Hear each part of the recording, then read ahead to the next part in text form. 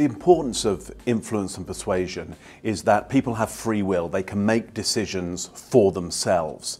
But at that point of decision, if you're front of mind for them, you have the option to sway the way they go, and that can be really beneficial and powerful for you.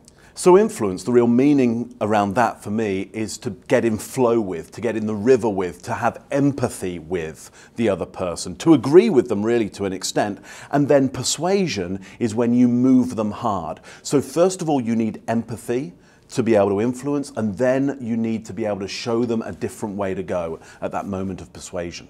If you don't start with influence, you can easily get seduced into argument. Nothing wrong with argument if you're going to win, but often you don't win at it. And it's an expensive way of trying to get some kind of agreement. With influence and persuasion, it's simply economical and it's more pleasant.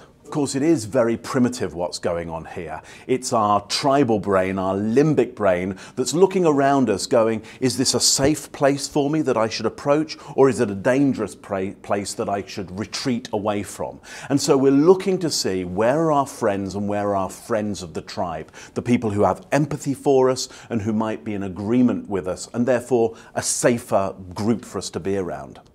So people are judging us on a primal level all the time and trying to work out, are you of benefit to me or are you a time waster? And if they see you as a time waster, well, they're not even listening to you.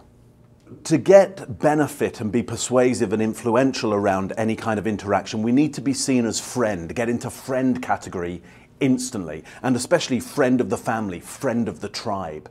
Then we're seen immediately as beneficial not only to the individual, but to the individual's human resource around them.